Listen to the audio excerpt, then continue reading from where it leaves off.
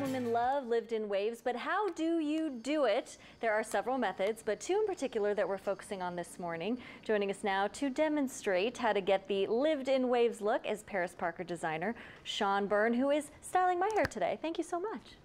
Thank you.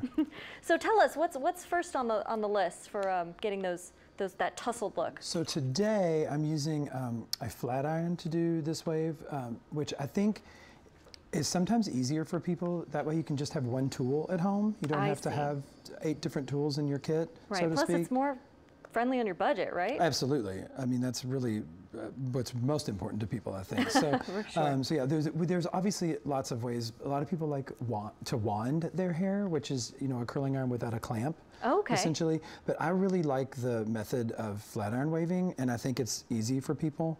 So um, that's kind of what we're doing today. Cool. And again, it looks like it's all on the wrist, right? Absolutely, everything's on the wrist, right? um, so we're using a little bit of the heat relief thermal uh, protecting and conditioning spray. Okay. It's an instant conditioner that um, will actually keep your hair from being damaged from this very hot flat iron that we're Oh, putting good, on the hair. right, yeah. But I like this whole lived-in situation, so it looks a little bit like you did it a few days ago, Mm-hmm. even though you did it straight away. Sure. Okay. And again, it's that, it's that just kind of like relaxed look, right? Yeah, a little You're- bohemian, right. but in a in a more finished way. Right, but you didn't just wake up on the on the beach either. Correct. Right. Totally. Yeah, that's that's really not a thing for most of us. Not on a random Tuesday anyway. Right. This is true.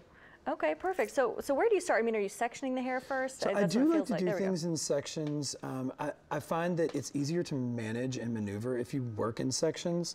And I like to, um, you know, the back and underneath is not quite as important because the top layer is going to hang down, you know, below that. Um, Okay. So, So that's know, a time saver. Yeah, so really, Yeah. if you just do the bottom of the back, it, it's, you know, you won't get quite the volume, but sometimes that's what people are kind of avoiding, wanting to avoid Sure. is sort of that long, lean wave versus a big, um, you know, Right. hot rolled look. Right. I was going to say like like the 80s look, right? Correct. We, we don't necessarily want that. Right. Some Unless you're in a high school play. Yeah, exactly. And then you might want that. Okay. so So yeah, um, so okay. I do like to work in sections. I think that um, it's just easier to manage that way, and having utilizing a clip to section the hair off is always a good idea. Okay. So Can- that's what I do when I straighten my hair. So Totally. It's basically the same the same um, sectioning, Mm-hmm.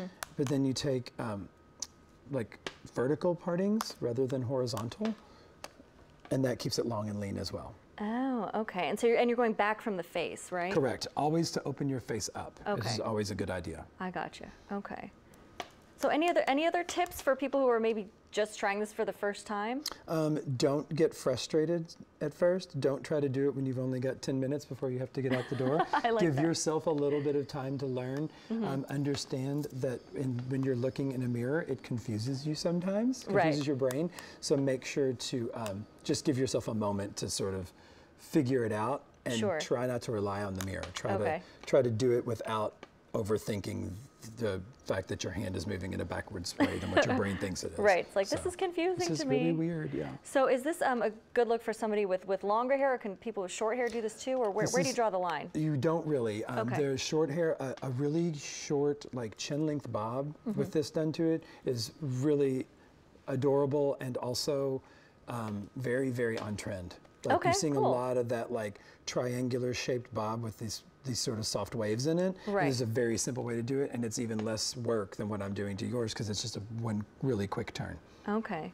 And then you said, you know, the back isn't necessarily what's important in this look, right? Correct. It's really you want to focus on the face. You want to put some in the back, but you don't have to be, you know, really diligent about tiny sections in the back to get it how you want it. Sure. Okay. And I love the, the the idea that this is this is a messy, fun look. So perfect. We're not going for perfection here. We're going for that tousled, carefree look, right? That's exactly right. I think that. Um, Again, I think that's where we are in the world right now. Mm-hmm. It's just a little bit more casual of a place that we are at, at this point in time. And I think that that's reflective in um, fashion, it's reflective in hair, and I think that it's uh, makes your life a lot easier, that's for sure. yeah, I was gonna say you don't you don't spend hours and hours, you know, do, doing your hair. Maybe maybe the first time, like you suggested. Right, just a few, just a few more minutes, yeah. right. And I will say that this um, flat iron wave actually lasts a little bit longer sometimes than a. Oh, curling great. iron wave.